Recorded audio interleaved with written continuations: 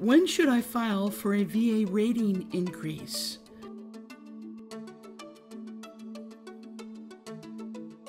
A VA rating increase is for someone who already has a service connected disability. What sometimes happens is when you get your service connected disability, normally during the progression of your life, the condition can get worse. At that time, if it does happen, you want to go ahead and file a claim with the VA as soon as possible.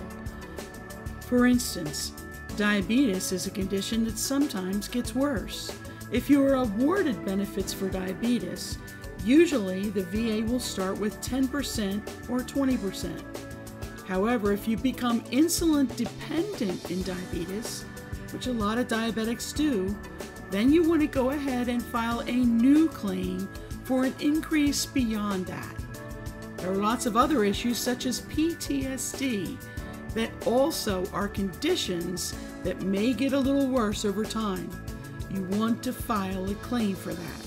So, what you want to do is, as soon as you think your condition is worse, file a new claim.